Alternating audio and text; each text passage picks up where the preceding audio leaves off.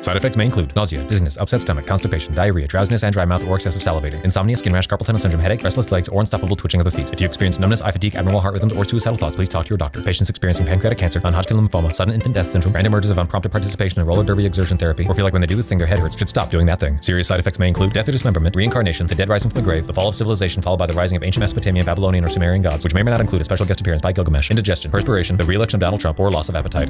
Zuplexa. Oh, hello there. I hope you enjoyed that video. If you'd like to support the creation of further videos and feed this poor starving cat, you can go to patreon.com slash howdyanthony. My god, he's dying.